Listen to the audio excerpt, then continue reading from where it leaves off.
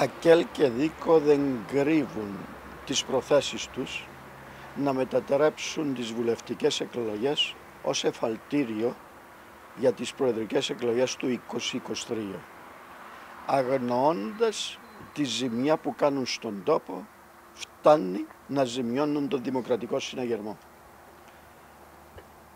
Παράλληλα, ο κόσμος που νιώθει θυμό ή και απαγοήτευση επιλέγει κάποια νέα κόμματα ή μικρούς κομματικούς σχηματισμούς.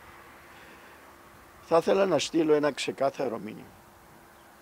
Οποιοςδήποτε συναγερμικός ψήφος, φύγιος ψήφος διαμαρτυρίας στα μικρά κόμματα, είναι έμμεση πρημοδότηση του ΑΚΕΛ και του ΔΙΚΟ στην προσπάθειά τους να βάλουν τους θεμελιούς για να επανέλθουν στη διακυβέρνηση να εφαρμόσουν τις πολιτικές του 2008-2013.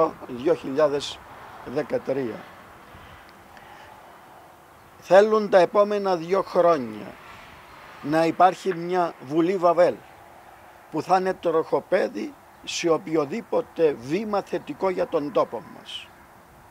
Για αυτούς όσα περισσότερα προβλήματα συσσωρεύονται θεωρούν ότι αυξάνεται και το κομματικό τους κέρδος.